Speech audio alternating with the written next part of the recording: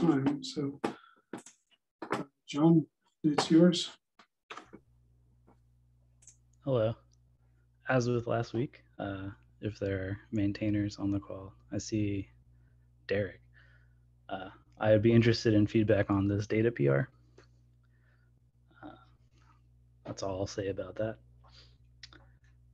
And then uh, I have had folks reach out to me about like, can we use Helm with this experimental OCI thing? Is it okay? Um, and like from my perspective, as a registry operator, Helm is using the registry API in an acceptable way that I think is fine.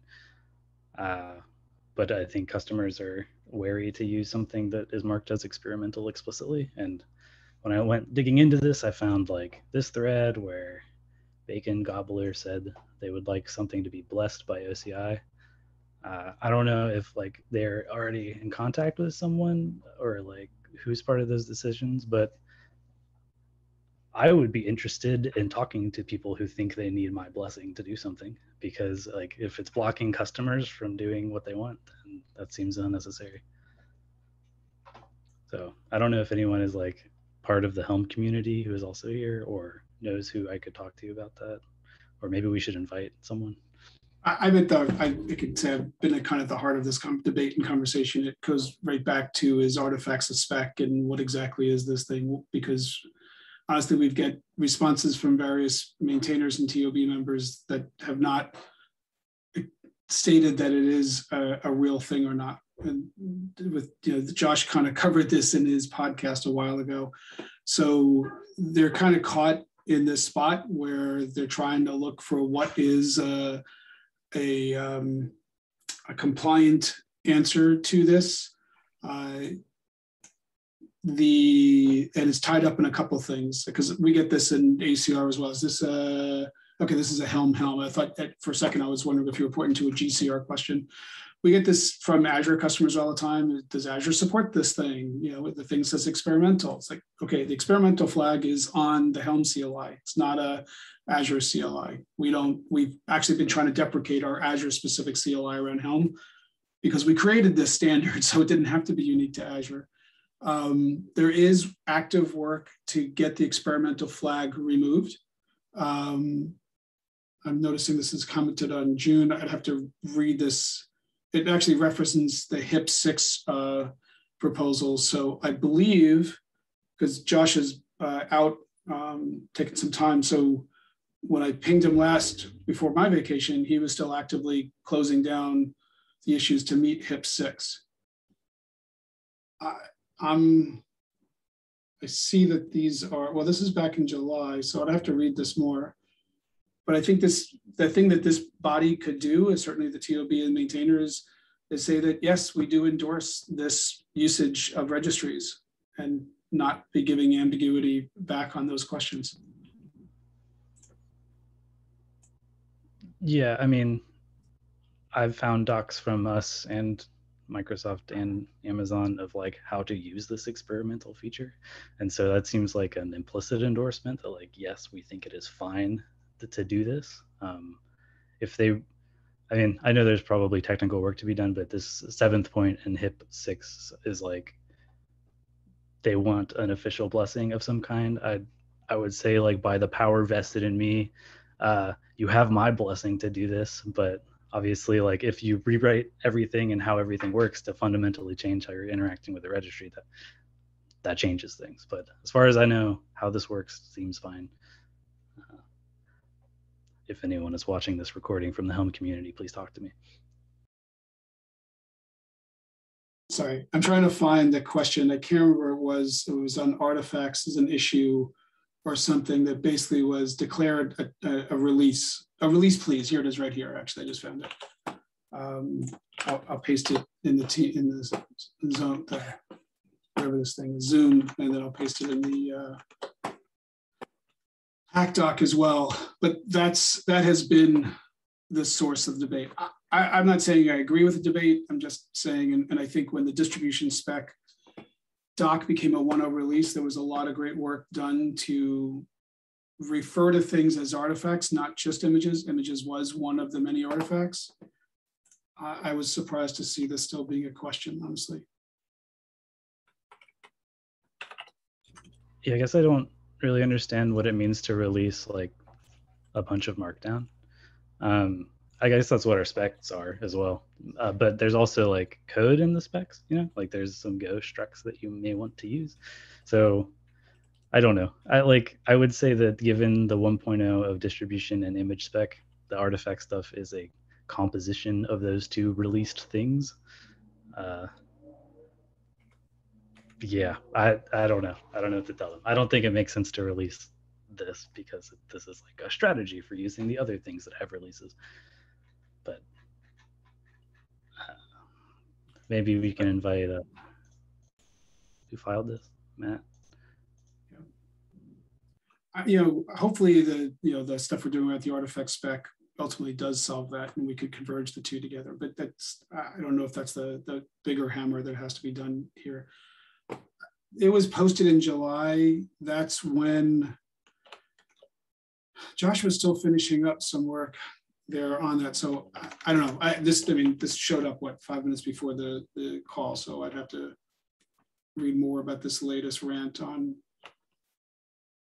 It's a circular dependency problem. They don't want to depend on anything in OCI until it's released, and and then the release stuff says, well, we can't really adopt it until there's usage. There's plenty of Helm usage here, so I'm not quite sure what what else is needed. Are there registries that don't support what Helm is doing today in terms of like media type filters, stuff like that?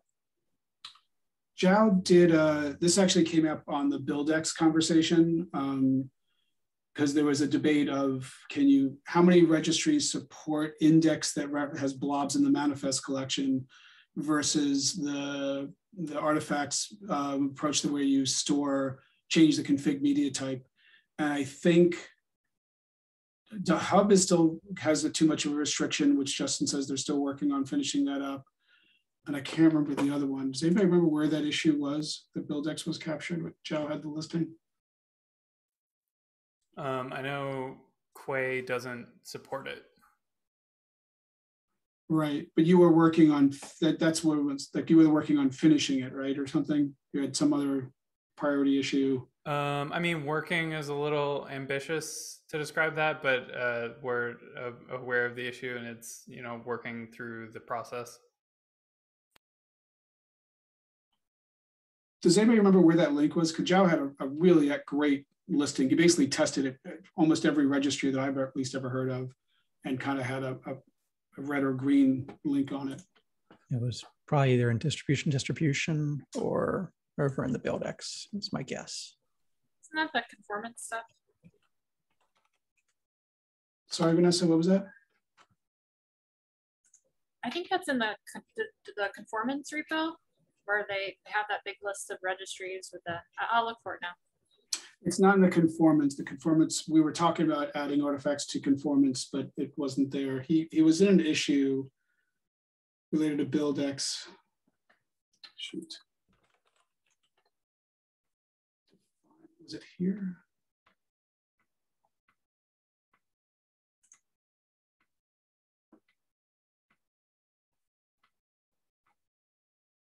I'm just traversing a link that I found that does not actually have it.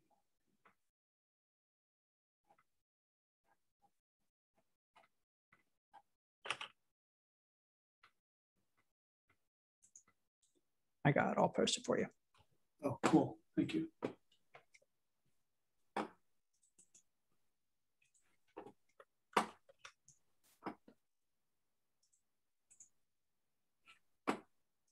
Yeah, this is the one.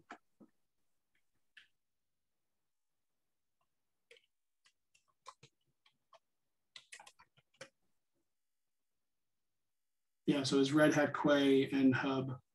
And then yeah, that was in, including even JFrog.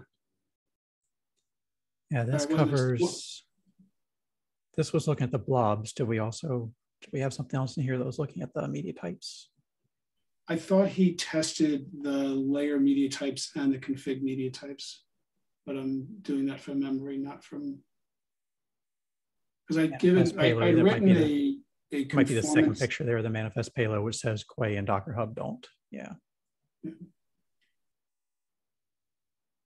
But It was in the ORAS client. I wrote a quick thing.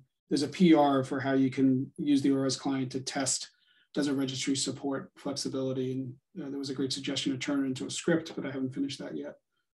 And I think that's what this was trying to do.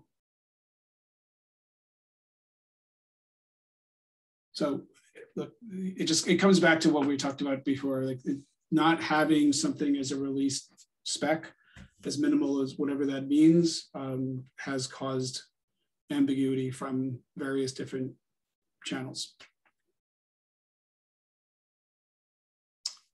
The question that you're actually raising around Go modules in, and I think I saw Michael here, yeah, um, IBM Michael Brown.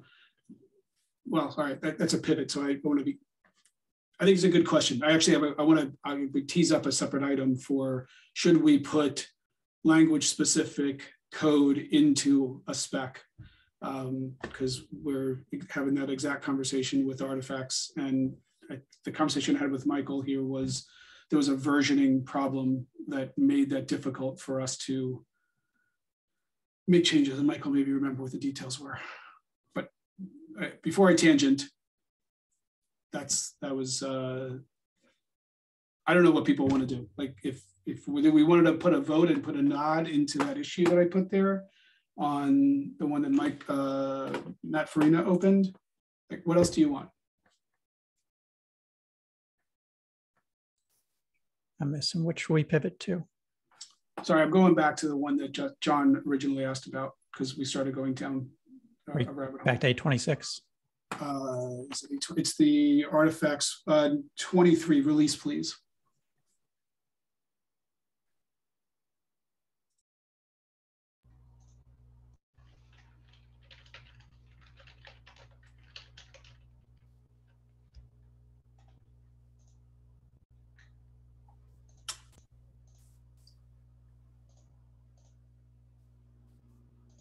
John, if you want to comment on there that the use as specified is, you know, consistent with the released specs, then maybe we can just close this one.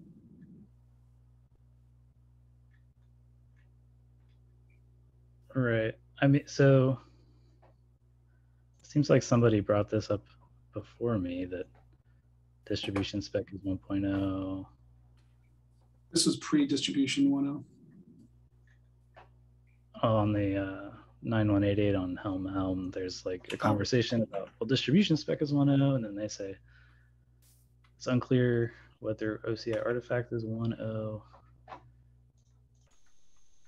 Then the other thing came that you linked to. Okay, I'll comment somewhere. I I think it's fine to do this the way they're doing it. So I, if they're blocked on us, I think we should unblock them. But I'd I'd like to understand more about why they want to be blocked on us.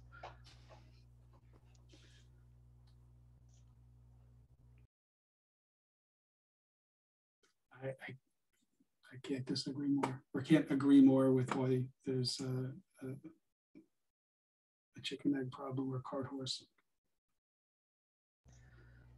That's that's all I want to really talk about. And I mean, if anyone who's listening knows someone who can talk to me again, have them show up to these meetings or something.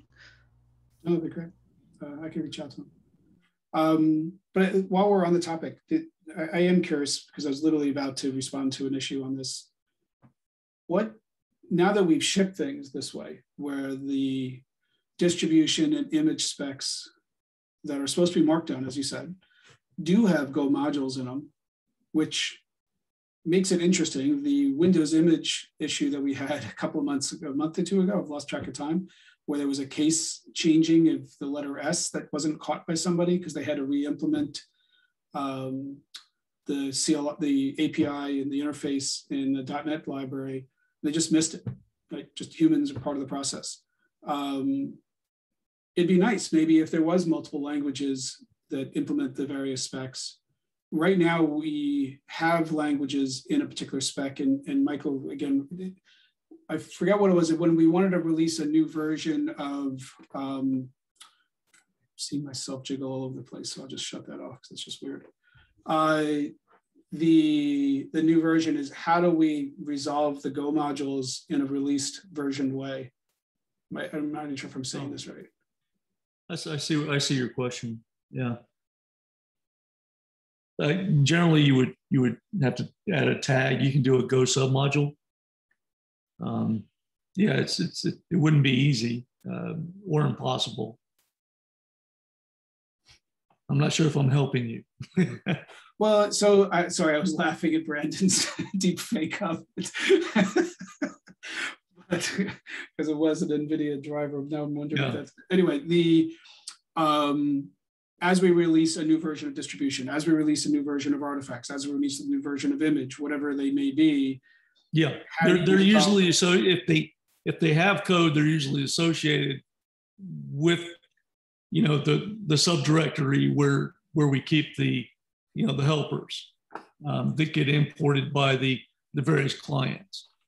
Um, if you were to go look in, in the container runtimes, runc, et cetera, you're, you're going to find uses of the, the, of the image spec, okay, helpers that are, that are there, um, as well as the runtime spec for things like hooks and, and other stuff uh, inside of runc.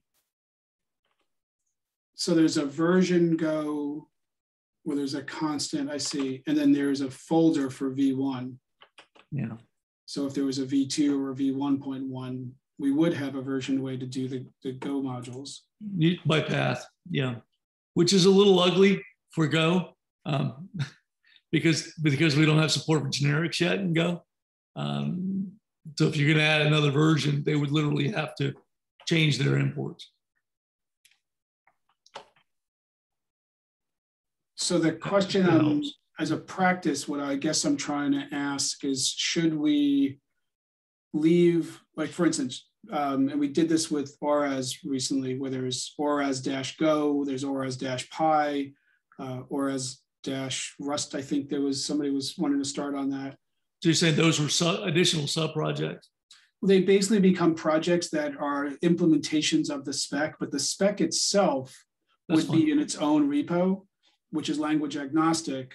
And right. then there's language specific libraries that become the use, the, the, the, the, uh, the language specific libraries for that version of the spec. Right. That, that, that would be fine. Yeah. Would we have done the same thing with distribution and image spec? And what should we do with the artifact spec? Like, should there be an artifact spec dash go separate repo that gets released in version in sync with you know the spec that's language agnostic? what is the experience of this team now that we've been shipping this for a couple of years? We we've typically just stuck to go um, for for you know obvious reasons, right? All the code for runc, uh, Moby, the distribution distribution is all ready and go. Um, so we so we just did it that way um, to, to help with those implementations. And then right, I've seen lots of copies for you know yeah programming languages like Rust um, that are using, you know, using the same stuff and doing the same kind of implementations. Uh, even CRUN ha has some libraries. Um, so you know, people are trying to maintain this kind of stuff, and hopefully in some of the uh, you know more convenient, uh, you know, root group uh, repositories like containers. Um, but yeah, we don't always do it inside of open containers. Uh, we just haven't had the time to, to support. We've had a lot of requests for it, it, but we haven't had a lot of you know maintainers want to come on board uh, to main to keep up with those other languages. And then we talked about language agnostic kind of implementations, and, you know, with generators, and, and we just didn't go very far with that yet. Yeah, I mean, I could see us shipping maybe just an artifact spec go, you know, might be at first. Um, but at least it's in a separate repo. So if somebody does want to take the time and do a Python version, that they could donate it there and then it iterates. The same thing, you know, with distribution. If you, if you do one language in GitHub, they'd like you to pick uh, which one. And that's usually why you end up with one repo per language. Is just yeah, yeah, yeah. That's exactly what I'm saying. Is there um, somebody like beating down the door to to donate a Python version? Is there someone, is this a, an actual problem or a hypothetical problem? No, it's been an actual problem. If you look at uh, ORAS project, um, we have we have a couple of them. The Rust one didn't got dropped because somebody went up working on something else. But there is a Python version of it. Um, that's the one. I'm remember who was. I think on I'm working on that. Yeah, that's right. Yeah. Yeah. There was Like, I also think the person was Reggie- on here, but I wanted to be I sure. was like, yeah, I think that's me. So there, there was also the Reggie client, which I implemented in Python. I, I guess I'm sort of the the weirdo developer out there that's like excited to do these things. So I, if you ask if it's like a real thing, I would I would say yes. No, Sorry, no. I- yeah, It's, no, it's the long term. It's the long term issue that, that becomes the. And how do we go fix everybody and the, do the maintainers stick around? That that's How do usually we, how do we Yeah. set it up so we can do this kind of thing? That's what I'm more asking. I'm not suggesting we do Yeah. implement 12 different languages. What I'm saying is, should we factor the languages out so that the specs are the specs, they get released, the libraries get updated when they should be updated, whether we decide that they have to be updated to release a spec is an interesting question. right. So if we're worried about long-term maintainer availability, would it make sense to have it as like a contribution repo? Like this is not something we're maintaining, but this is contributed by the community. And that way we don't make a claim that we're providing something that we're maintaining, but it's at least available there. if People want to start putting stuff up there.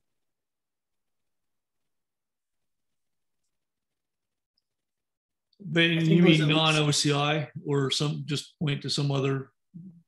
Hopefully Still under volunteer. OCI, but just with a big banner. And like you wouldn't put a big experimental banner, just like this is a community contributed repo versus something that OCI is providing and providing a surge for. Go ahead, Nisha. You got So- Yeah, um, I wonder um, who who is consuming the Python version of ORAS? Yeah, so I, I wanted to kind of comment on that. Um, so one of the things that I would like to improve upon in at least like the HPC community is just our interaction, not just with OCI, but just with the whole e- the whole ecosystem. And if you look at languages that we tend to use on HPC, there are you know compiled ones, so C++, um, not very much like Rust or Go, but you know kind of the old school languages like Fortran that you'd see in these really old codes. But then when it comes to actually research, most researchers are using like Python, small subset of R or maybe Julia. And so the reason to do things in Python is really to bring in that entire community. I think there's so many tools here that uh, people in the HPC or scientific, you know, academic ecos community don't don't even give a second look at because like just Go isn't in their tool belt of things.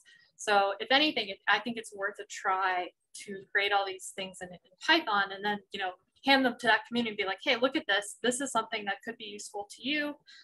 What do you think? What can you do with it? And you know, the worst case, like no one cares, but that's kind of always the worst case. So I would I'm a strong advocate for, you know, doing things in Python if if there's someone that's willing to do it. Yeah, so um, incidentally, uh, the Tern community has been thinking about rewriting some of most of our code in Go um, because the community that we work with is um, uh, it, it mostly programs in Go, and they are reluctant to adopt um, Tern because it's written in Python. So we have the opposite problem. Um, but I was wondering if it's possible to write uh, Python bindings for uh, the Go library. So if, if there's a reference library for the spec written in Go, can there be like uh, Python bindings for those? Uh, because that's what we were planning to do with Tern. So not get rid of the original Tern project, but convert it into like a, a Python API that uses the Go uh, backend. So we, we, we don't have a whole lot of, um, you know, code. Uh, mostly it's just J- J- JSON serializers, deserializers, you know, getters and setters, that sort of stuff. Um, Yeah. Um, unless you want to consider runc. right? incident. It, yeah. Incident. Also, incidentally, the SPDX community has also been speaking about how do we maintain all these implementations uh, in various different languages. SPDX has implementations in Java, Python, and Go, and they're all in different stages of development. Um, I, miss Java. you're the only one that has told me that. Um, but I mean, it. This is because that's how like the progression of technology has gone, right? Uh, I mean, yeah. 20 years ago, Java was the hotness, and now Go is the hotness.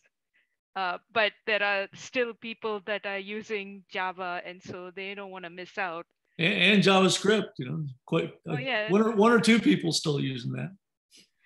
Oh well, uh, and and that's the other thing. Like different uh, communities use choose different languages, and it's like, okay, and and I- I- usually don't in the wanna- container world, it's just it's the implementation detail. Most of the users of it are, are inside the container, and they can they can use any programming language they want. And we usually don't try to encourage them, you know, to be to be managers of that which they came from, right? but you know that is that is one of the things that i'm wondering about because considering that you, we now live in this contain- containerized world and there is no more portability issue or, and the dependency issue people still want to you know work use the thing that everyone else uses i mean there's still like some homogeneity in the connections. So, uh, yeah, I don't know.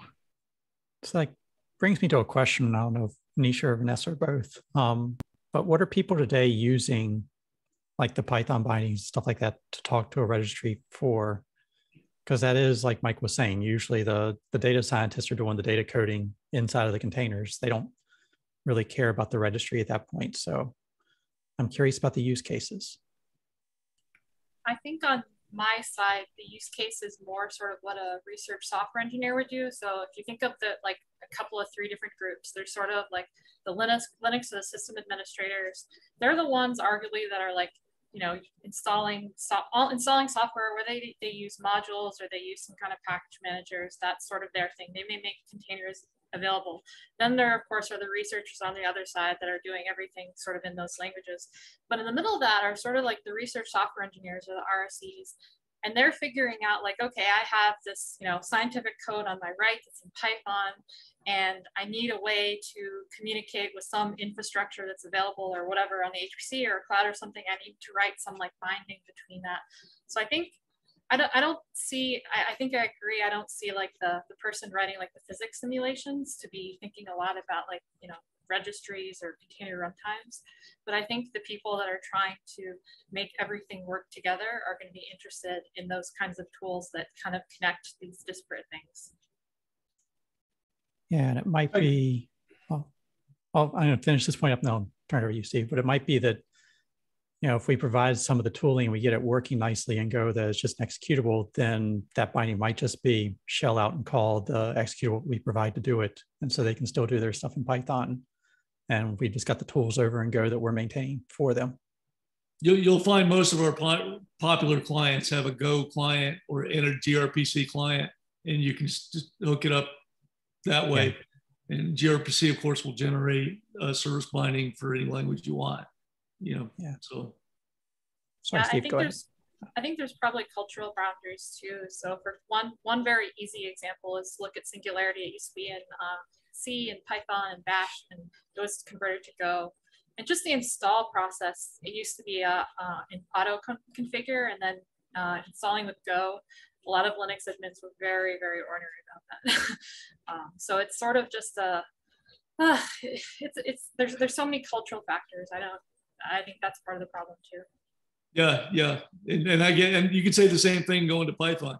Which Python? Did you mean two, Python two or, or one, or yeah, it's, it's the same problem. Yeah, and At I'll least that's the way it seems from the other side. Yeah, and I'll, I'll echo with what Vanessa said from from Sandia side too, from the labs here. With uh, is it the ops side? Is it the scientist side?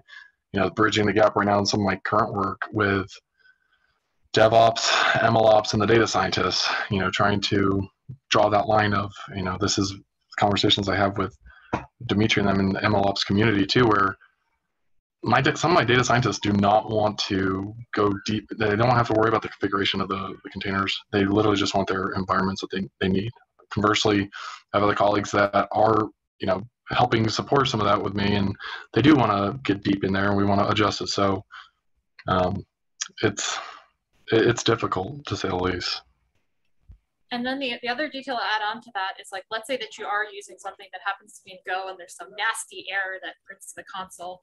If you're, let's say you're an RSE or you're a scientist and you're, there are languages that you're comfortable with and there's a degree to which you'll feel empowered to like go to the source code, figure out what's going on and then, you know, open a PR an issue and like help fix it versus just being like, oh, this isn't Go. I'm just going to like not use this anymore. So that's, I, I, think, just increasing the contributions. But I think, as probably someone listening to this right now would point out, uh, as, as, soon as you choose one language over the other, you know, then you lose the other group that was more familiar with the, the first language. So it's it's a double-sided coin. Yep. And I just wonder, like, it, there's lots. We see lots of different language implementations of the various toolings, and they're in random places, and nobody ever wants to contribute to the next one. Um, it's not mine. Where if there is, if they were in the body that owns the spec, let's say, wherever the right foundation is, depending on the thing, you know, if you know Fred wants to make changes, not willing to build it up himself, but he sees something. And to Vanessa's point, if there is an error that change because we change something or we clarify something or it just wasn't right in the first place, like a capital S, then somebody else could just make that PR and fix it as opposed to having to maintain multiple branches of different things or you know, multiple repos. So I'm just wondering if there is language specific needs, if we at least enable the opportunity for that. And you know, ORAS is the interesting one. Like I, the Rust one got created, it was dormant. We've been asking ourselves like, hey, let's should we delete this thing? And we probably will until somebody else, and we'll probably archive it or something. And if somebody wants to revive it, great. Um, should we, like the question I kind of started off with is should there just be separate language specific repos so that you could have different maintainers that own those? The idea is that Vanessa was a maintainer on the Python repo, but she may not be on the spec, let's say, or whatever the other one was. Um, so she's now empowered to own that. If somebody else wants to contribute, they can make a PR to the, the Python you know, language. If somebody wants to make a Rust one and wants to maintain it, great. And if if we find in the future that's not being maintained, then we do label it. But do, is there value in creating a language specific repo for the spec in, alongside of it so that there is a central place for the community to contribute to? I uh, just want to uh, talk about like the the Python use case with regards to like working in a predominantly Go ecosystem. So we've gotten around, you know, that uh, thing, that block usually by shelling out to whatever tools are there. Uh, but what we found with the Go ecosystem is that there's a lot of functionality that isn't exposed. Uh, one example that I bring up is the uh, the Kaniko snapshotter. So the snapshotter works in user space, and that's what makes uh, it um, capable of building container images on Kubernetes. We would like to use that snapshotter, but there's no tool that's built around that snapshotter. It's uh, like Kaniko just builds and deploys, and that's it. There's like nothing in the middle where we can like hook our turn fingers in and inventory things. Um, I think there are uh, some other stuff that is Kubernetes related that you know cannot be integrated well because uh, Tern is written in Python. Um, so it's it's kind of uh, you know we we don't have a choice in this matter, and I and perhaps it may be the same thing on Python, although Python is way more forgivable than Go is. I, am trying to understand if you're trying to say that Tern should just move to Go and, and not worry about Python anymore, or it's just it would be helpful if there was two because different audiences use different tools for the reasons that they do. Like I, I don't expect the ML community to move to Go. Right? They've clearly got their feet dug into their language. I would just be happy if they stopped generated monstrous images and we could figure out how to help them do that. Um, well, I mean, uh, see, that's that's part of the problem, right? The the monster images are coming because uh, the the modules are so big, and the, the um, generally ML folks are not interested in the system level stuff that the containers do. Um, we just happen to write a tool, a system tool in Python uh, and that might be because I am historically from the embedded world and the, the uh, systems like the OS installation world that usually works with C and Python for automation. Uh, C for libraries, Python for automation, um, and especially with build tools. So for example, Yocto project is written in Python. Uh, so now I am realizing that I can't just keep shelling out to various tools that other people have written for, you know, their own use cases. Um, but the the Python tool can still exist as a CLI tool if anyone wants to run it, and we have people already running it in production. So we can't we can't get rid of it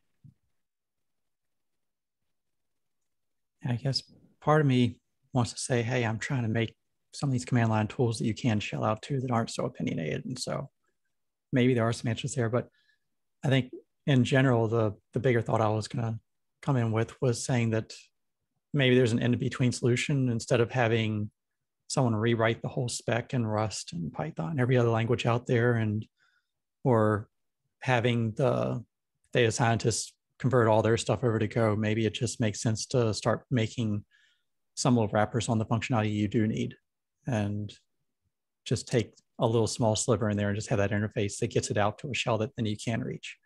Yeah, and exactly. Yeah, like, I really liked that idea you have about like uh, you know, being able to make Python bindings from Go. I I had kind of thought of that um, when I started working on the ORAS Python and I just like didn't find anything. Is this something we can like ask Google, put in like a feature request that like to start thinking about or working on? Because it seems like it would be so useful and it's that middle ground thing that we need. The, are there not Python bindings for C? I mean, oh, I mean, yeah, there definitely can, are can do it by like thunks through C, but it's really That's gnarly, and I would yeah. uh, advise against it. Having written too much CGO in a previous life. Uh, oh, that was all right. There, there goes the other, the other idea. okay. So if we took, I'm still trying to come back with, do we create separate repos? That if we, if you were to create the thin wrappers, would you still have those in a separate repo? Would you try to put them in the single repo? Like, would you have the uh, distribution spec with Go, Python, Rust in the same repo, or would you have the distribution spec be the markdown files and the language is markdown, if you will? And then there's a separate repo that says this is Go. There's a separate repo that says this is Python. Maybe the Python repo is just uh, wrappers around uh, the Go uh, output. My vision Definitely is the a lot. second one. Definitely the second one. The first one sounds like a nightmare. The second.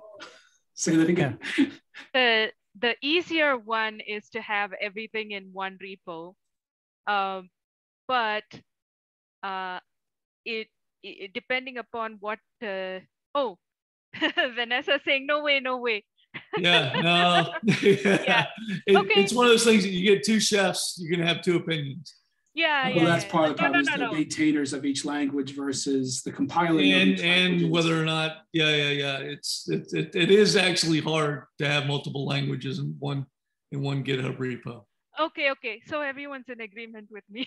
Multiple repos. multiple repos i think Do we need Facebook and Google to weigh in here, or aren't they the the mono repo monsters? well, it doesn't have to be a mono repo monster I'm just joking. I'm, I'm going Yeah, on I mean, the, it's this chat. Uh, Sorry. I was going to come back to Steve's question though, in terms of where to put it. I don't think it makes too much sense to put it in OCI just because we don't really have a lot of implementations other than runc. You know, so there's no main that they would be dropping in to have that wrapper script in there that would make sense in OCI. But there might be other repos that are calling OCI that have some functionality they're extending and either add more of their code to give them that extension in there or make something that is based off of that in a separate repo somewhere else, just wherever makes the most sense. Yeah, it could be that uh, there's some kind of pro. I think this is something that OCI has been kind of dealing with a long time. There's like the specs, like Markdown, and then there's like projects that are actual implementations. And I guess the projects that are sort of blessed by OCI belong like alongside the, the OCI specs. But for projects that, you know, might be like some version of something in Python, maybe it, I think it does make sense to have them separate. You know, they're not like Yeah. official supported OCI projects, but then to maybe just within OCI have like one repo that serves more as documentation. Like here's all the Python, you know, wrappers or whatever for this that we have. So if someone does make a project and they want that visibility, um, they can just get added to that list. And then it's easy also for someone to find what they're looking for. yeah I think we need a website for that. That that was a complete Vanessa reference there, but unfortunately we don't have the people to help you out on that right now today. I, I put a link to the the rust oci spec repo in containers I, i'm just saying that uh, the way they did it might might be valid. And it might be a good place to put it. There's a lot of other oci stuff in that in that project.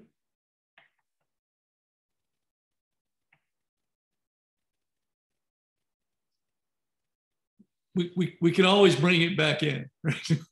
Yeah, and, and I'm if, it, if it needs to be clear, I'm not, I'm not actually not suggesting we change anything of where things are now in OCI. There's all kinds of issues related to that. What I am trying to figure out is for the new things that we're doing, do we just follow the, if, if it is a bad convention, do we follow it because a bad convention is better than, you know, differences? Or is this something that it'd be a nice thing to clean up? And as we're doing the artifact stuff, like literally I've got a PR from Avril to check in some Go modules and I'm, I'm questioning, should it go into that repo or should we create an artifact spec dash go? And I think by convention, it's okay to pick a language and make it go for now um, in, until we have a better a better answer.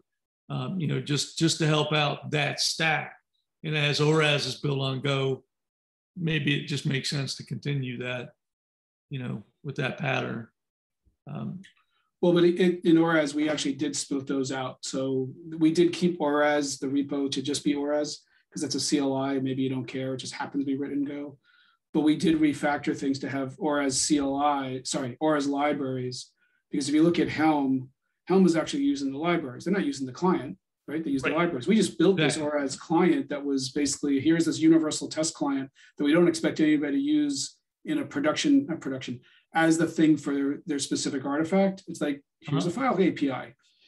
But if you want to build like, and I demoed this this morning with SPDX, it's like SPDX push, SPDX LS, you know, SPDX uh, discover, and it used well, it used a bunch of things. The theory is it would use the ORAS libraries and reference types um, to generate SBOMs and push them.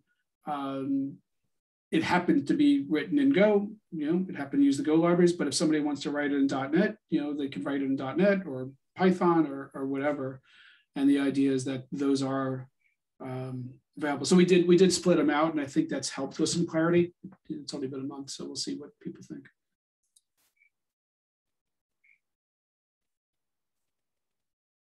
What's the Vanessa? You want to riff on what you just posted? Yeah, so I'm just a general reference. So that's how GitHub, basically GitHub has a RESTful API. And of course, everyone writes, you know, a client in their favorite language.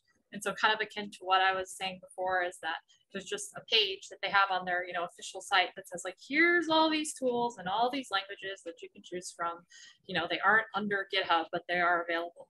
And it has that modularity of maintainership, yeah. which I think is so important to everything.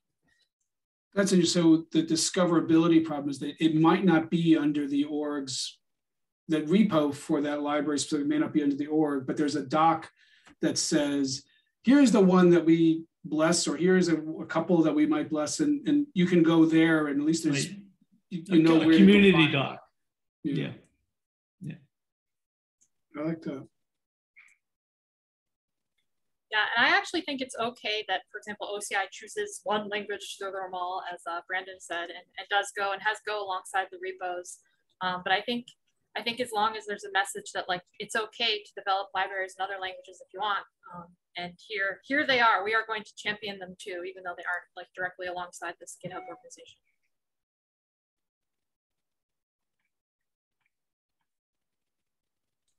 Yeah, the so part that's he's, bit, sorry. I was, going to ask Michael Brown, ECR Michael Brown, like, you know, what do you, what's, like, what, what should we do in the RS stuff? Do you have an opinion that we can, you know, maybe voice here? And I was thinking artifact spec dash go so that it's a separate one. And maybe if there is a Python, we wait for it to be, we wait for Vanessa to get further along before we put it under the org. and then she would donate it maybe. Uh, first, it's a, a link as a doc link, as we just said, but I don't know, what do you think? Um, I, I, I guess I don't think I have a very strong opinion other than I think the more clients you add, the harder it's going to be to support them all, uh, which I think people have said. Yeah, what's bitten me working with just in-toto lately is that they've got the Python and the Golang implementations, and they're just not in sync. And so, as a user of that, when you have something that has two different implementations that are following two different versions of the spec is just hard on users. Is it better to not have one language altogether? Like, do you care that it's two, or do you have your language that you care about? I, I'm, I don't know what the answer. I'm asking. I think I'd prefer I, to have one or zero. I'd, I'd rather have one or uh, not two. I think in some ways though, seeing, so if you have something that's sort of agnostic, whether that's like an API or a spec, I think in some ways, seeing this desire to create libraries in different languages is actually like a, a sign or it's like a progression or that the software or the spec or whatever has reached some point where people really do want to use it. It's almost like a sign of maturity for the thing.